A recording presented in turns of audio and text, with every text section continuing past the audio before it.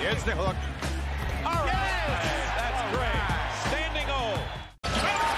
Baseline take, and it's a turnover. The first here for the Wizards. Giannis bringing it up, crossover.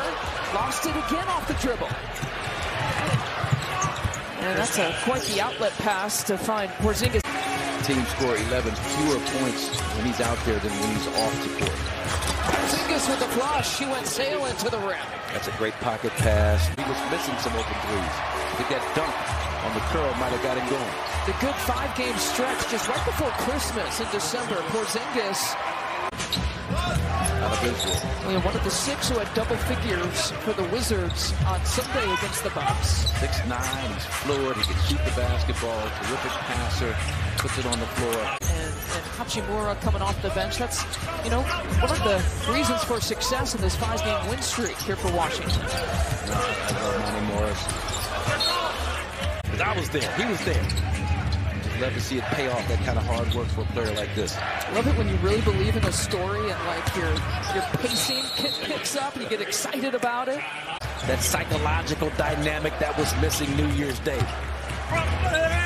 Kispert inside.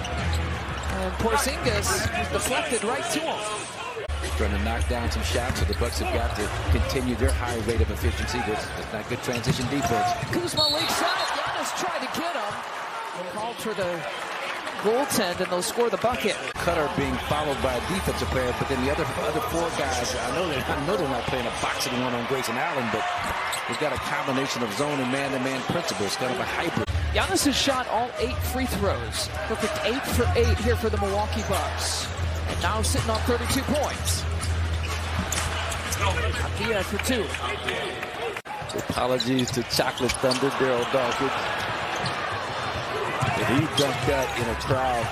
It reminded me of Dawkins and some of the power dunkers back in the day. Now the defense is starting to get a little loose, Lisa, for my liking right here. Normally it's the opposite that happens.